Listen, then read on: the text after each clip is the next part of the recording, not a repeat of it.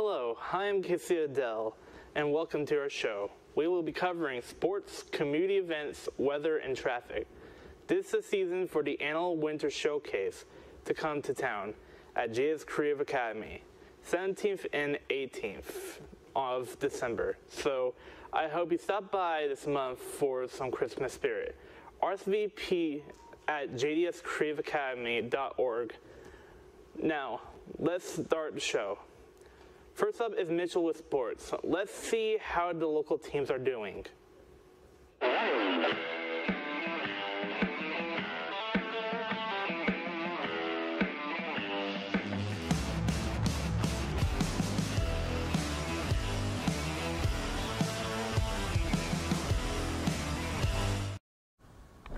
Thank you, Casey. And hello, everyone. My name is Mitchell is and I am here to give your sports report on December 6th.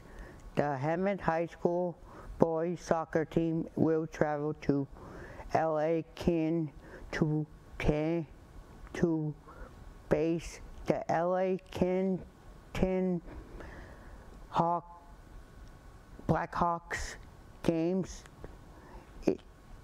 time is 5.15. This will be the only meeting between these two teams this season. On December 5th, Lake Elsinore High School varsity boys base basketball team will face Cardinals High School in Riverside. Key won the tournament at Roman High School. Tip off is at 5.30. Good luck to our local team taking the field and courts this week.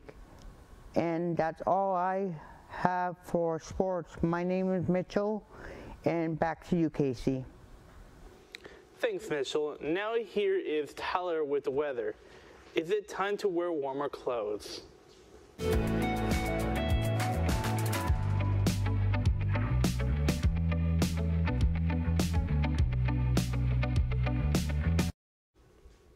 Thank you, Casey.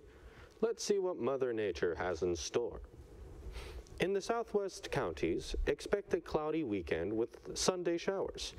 A mostly sunny week will finish off with a cloudy Friday. Temperature-wise, the highs the entire week will hover in the low to mid 60s, while the lows will drop and hover in the upper 30s to lower 40s.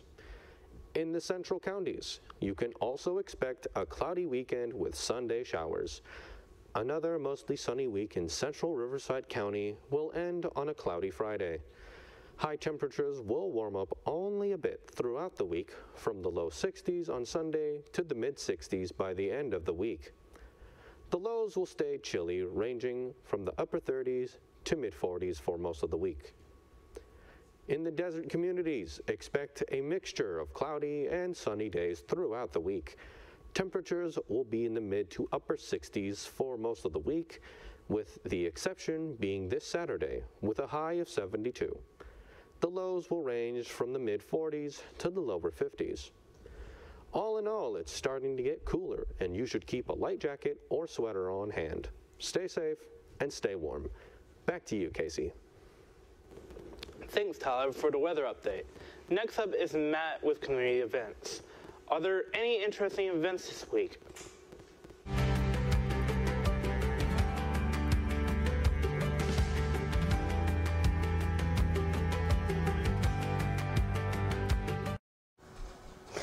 Thank you, Casey. Hi, I am Matt Sealbinder, and I have some cool things to show you in this episode. In Temecula at the Old Town Community Theater, Charles Dickens' classic story, A Christmas Carol, will be presented by the Temecula Valley Players. This has been a tradition for the local theater. And they are back again. You can check out their have evening shows at 7.30 p.m. and matinees at 2 p.m. on December 2nd and the 11th. Please check out ticket office pricing, dates, and times. The Fox Performing Art Theater in Riverside will be hosting presenting of the Nutcracker this holiday season. The fans' favorite ballet will open on December 17th with two shows each on Saturday and Sunday, December 18th. Only two days to two days go see it before time runs out. We hope you enjoy this holiday festivities. The Polar Express train ride has returned to the Southern California Railway Museum in Perris. Going on now through December 28th. This has become somewhat a holiday tradition for the museum based on the sights and sounds of the 2004 film. Train passengers will be able to ex experience the wonders of magic. The movie brought to so many people around the world. The hour long train ride will feature delicious treats, music, dancing, and of course, Santa Claus himself. I'm your community events reporter, Matt Sealbinder. Back to you, Casey. Thanks, Matt. Now here's Karina with road condition, letting us know where the detours are.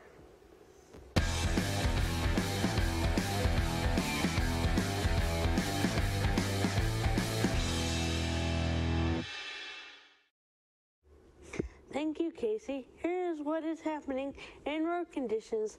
Ongoing pavement rehabilitation is happening in different parts of Temecula. On Ynez Road, Sullivan Way, Nicolas Road, and Winchester Road. The road work will involve grinding down worn pavement to replace with new pavement and upgrading concrete ADA access ramps.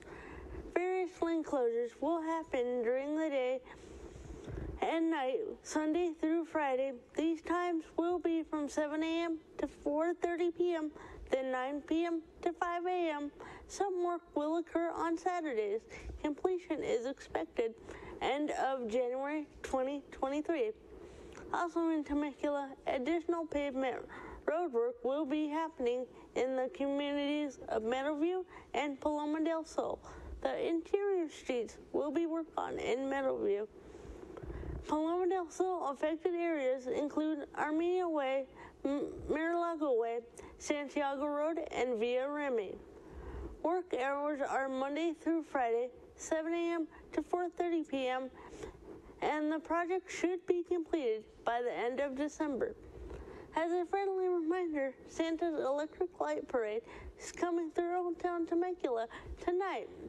Jefferson Avenue will be closed from 4 to 11 p.m. Drive safely, everyone. That does it for road conditions. I am Karina. Now back to Casey. Thanks, Karina. Well, that's it for our show for this week. Thanks for watching. If you want more, be sure to follow us on social media at hashtag JDSFamily, YouTube at SY underscore news, and on Facebook. I'm Casey Adele, SY out.